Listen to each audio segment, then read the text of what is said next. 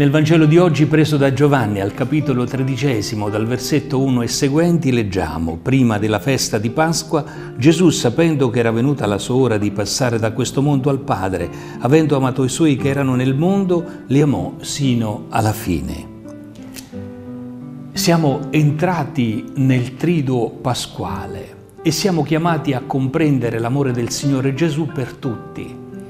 Il suo non è solo amore, ma è amore sino alla fine, cioè portato fino alla perfezione, è amore anche quando non conviene, è amore anche quando tutti scappano via, è amore nonostante tutto. Ed è proprio la memoria di questo amore fino alla fine che ci fa entrare nelle ore della passione e per non lasciare niente fuori. Gesù parte dai piedi. Le azioni che lui compie vengono descritte con dovizia di particolare. Si alzò da tavola, depose le vesti, prese un asciugatoio, se lo cinse verso l'acqua, cominciò a lavare i piedi e ad asciugarli.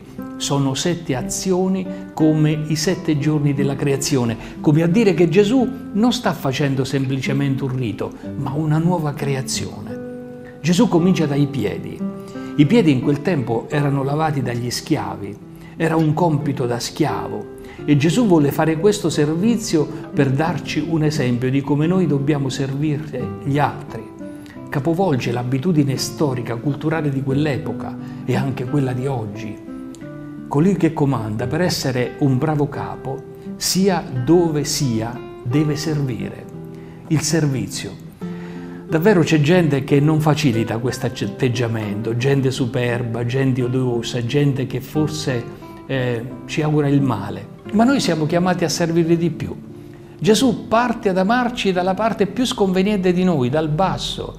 Egli non inizia ad amare i nostri pregi, i nostri talenti, le nostre capacità.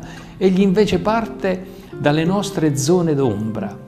Gesù nell'ultima cena si mette in ginocchio davanti ai suoi discepoli, si inginocchia davanti a tutti, anche davanti a Giuda.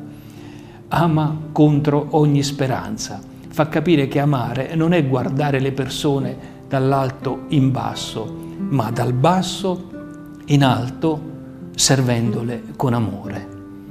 A tutti auguro una buona giornata nella pace del Signore.